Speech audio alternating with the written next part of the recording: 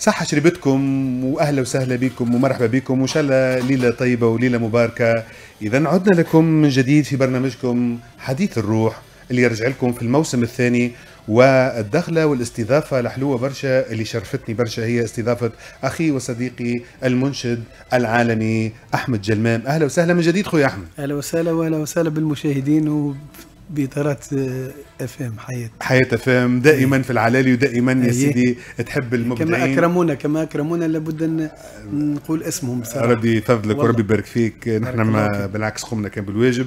وبنتي كلثوم أيضا منورتني اليوم في الأستوديو. وإن شاء الله رمضانكم كلكم مبروك.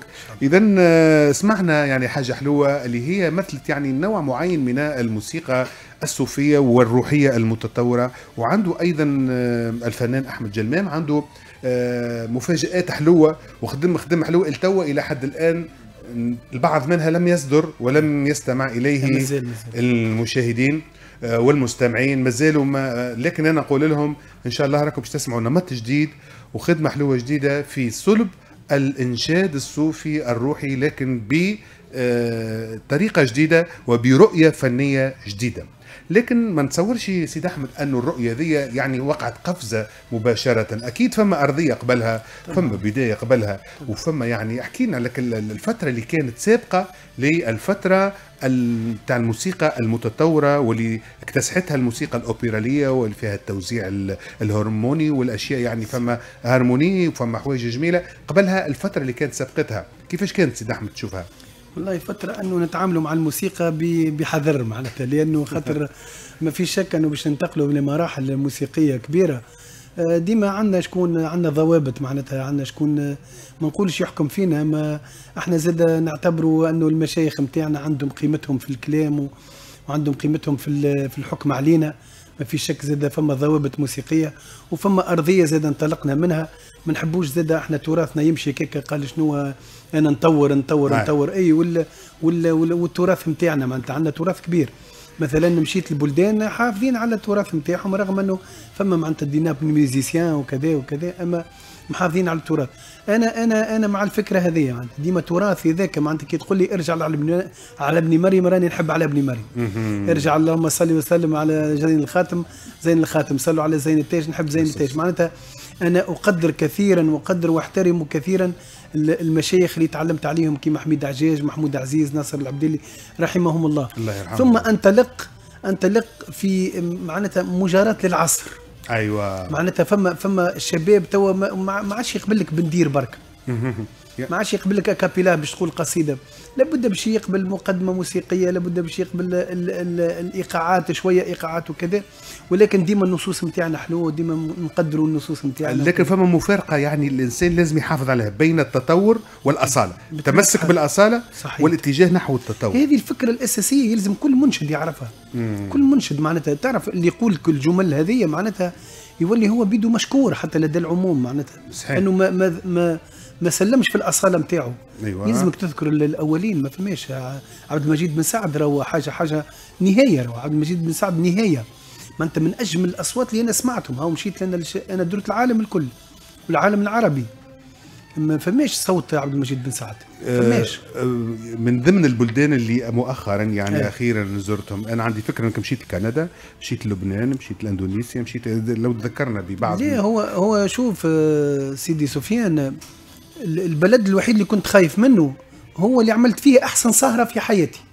هو مصر الاوبرا المصريه الله الله تابعناها ممكن ياسر الاوبرا المصريه ممكن ياسر ربما تعطيك شحنة الارضيه نتاعها كانت وكل- كلثوم معك في الرحلة ذي كلثوم شفنا معايا. أنا أنا بكل صراحة. معناتها قعدت باهت حتى الكلمات حتى الكلمات أنا مانيش شاعر. حتى الكلمات وليت نقول الشعر. معناتها وكأنه فما حاجة ربانية. إلهام. فما ربانية حاجة ربانية في الأوبرا معناتها اللي وقفوا عليه الأوبرا. أنا ما نشكش أنه وقف عليه النقشبندي وقف عليه. دونك آه، حقيقة الأوبرا عملت فيها كنت متخوف منها. أنا كنت متخوف من الأوبرا برشا. معناتها رغم أنه المهرجان جرش ومهرجان سوق عكاد و- وبرشا مسارح عالمية مسرح إيران مسرح لكن كنت متخوف من الأوبرا. الأوبرا راهي وقفت عليها. عندها هو؟ وزنها. عندها وزنة. وقفت عليها أم كلثوم وقف عليها محمد عبد الوهاب عبد الحليم حافظ وكل. كنت بصراحة متخوف. عطاتك شحنة. أحسن سهرية تعديت هي هذيك اللي أنا مقتنع بها. و zéro faute. قلت لك وصلت نقول في الشعر معناتها. ما شاء الله. معناتها وصلت نقول في الشعر. في في في وسط الكلمات وفي وسط الموشحات معناتها نعمل في شعر من من راسي أنا. ارتجلت ارتجال ارتجلت. ما شاء الله. هذه البلاد اللي أنا كذا والبلدان الأخرين الحقيقة الحمد لله رب العالمين. الحمد لله. الحمد لله. من الفترة هذه اللي حكينا فيها وهي التي سبقت الفترة ال- فترة التطور الموسيقي أو آه، نحب تسمعنا حويجة ترجع بينا لك الفترة ذيك الحلوة الفترة الفترة الغنائية الغنائية بدينا كان نستعملوا في الموسيقى ولكن بها هكا بشوية تحرز وشوية. اللي voilà معناها أي. كانت كي شوية كان واحد تجرى على محاذير كانت الإنسان ما بالضبط. يخربهاش أي، نخاف، آه، أي، أيوه نخاف. صحيح. هاي نسمعوا مالا من عندك انت سيكا. ومن بنت كلثوم شوية تقاسيم حلوة من عند كلثوم ثم يبدأ سيد أحمد في. بارك الله فيك.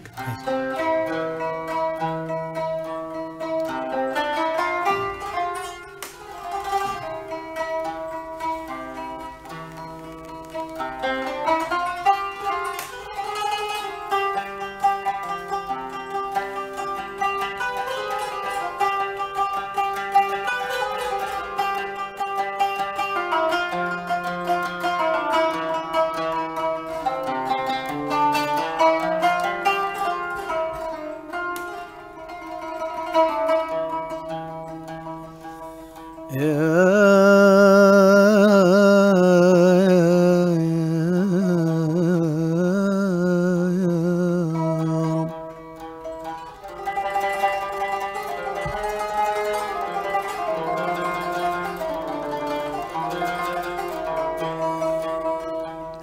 رحمة الناس.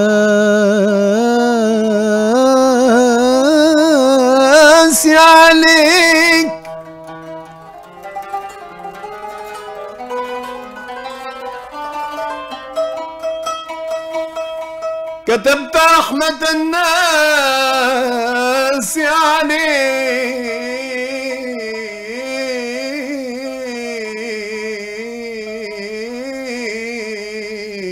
فضلا وكرم.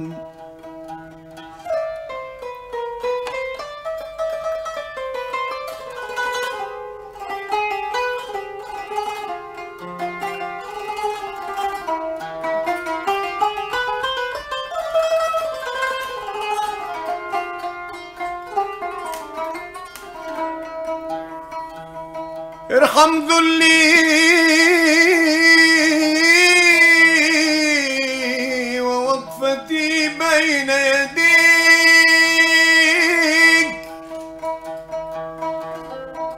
بين يديك.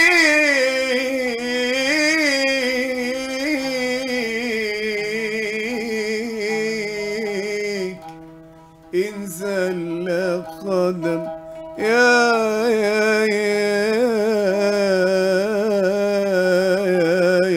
يا يا رب.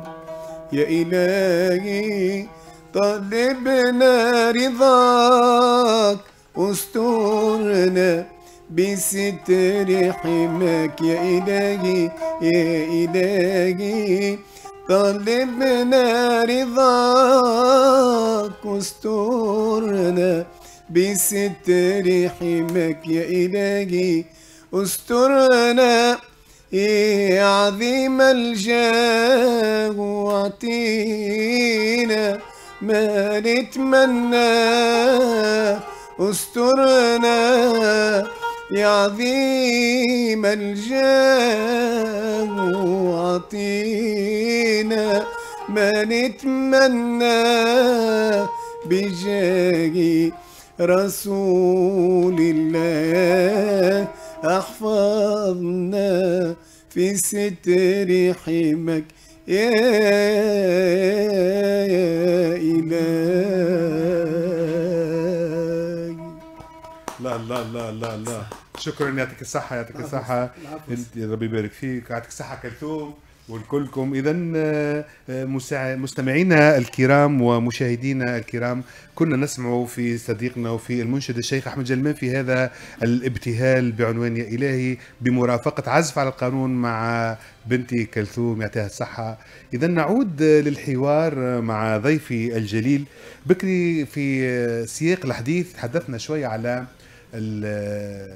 المنشد الكبير آه، ما نجموش نجيو القرآن ما نحكيوش على المنشد عبد المجيد بن سعد. نعم. اذا عبد المجيد بن سعد هو مرجع.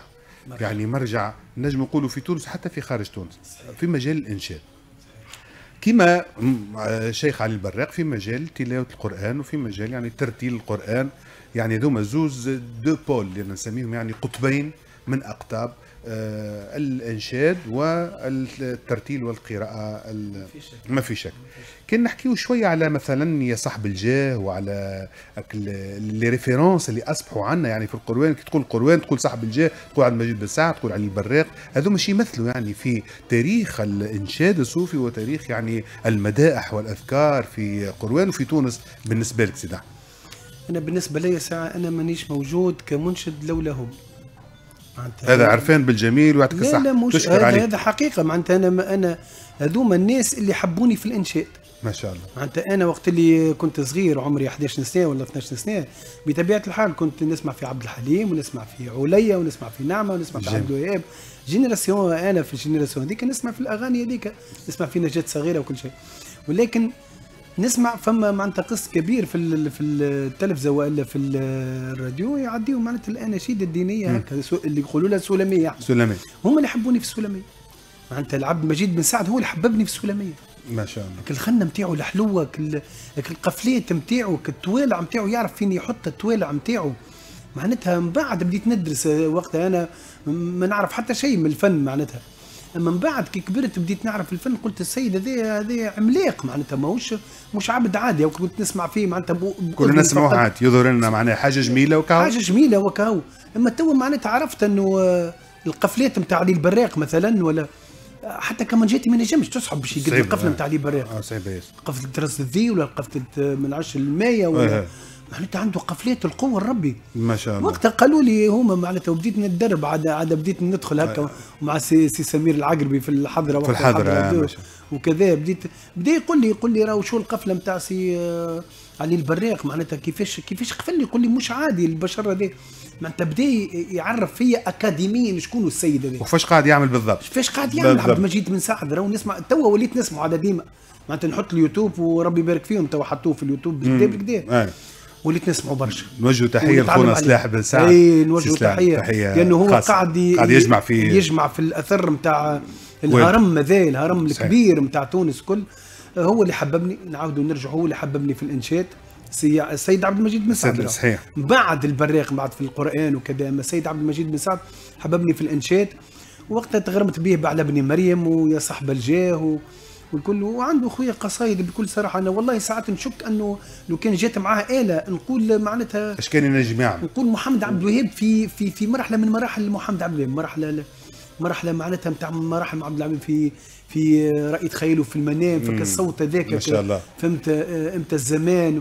صوته جهوري وحلو وحلو حلو برشا. حلو برشا. تعرف انت شوقتنا وشوقت المستمعين والمشاهدين الكرام أن نسمعوا شوية اكستري من آه، عبد المجيد بن سعد. إذا نقترح عليكم باش نسمعوا هذا المقطع من إنشاد المنشد المبدع عبد المجيد بن سعد. آه، أبقوا معنا نسمعوه ثم نعود للاستماع.